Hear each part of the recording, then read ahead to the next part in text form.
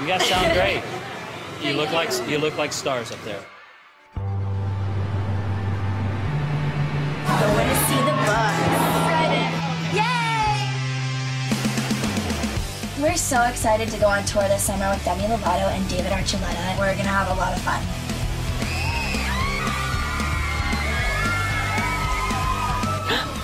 It's so cute. I'm having so much fun already.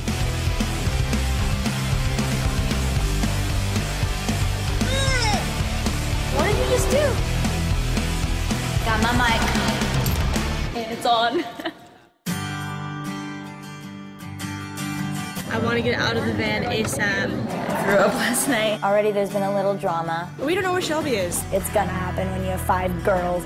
I know you guys can do better, and I know you will. Situations like this happen with us. I have no idea what's going on. It can get a little tense. But tomorrow will be better.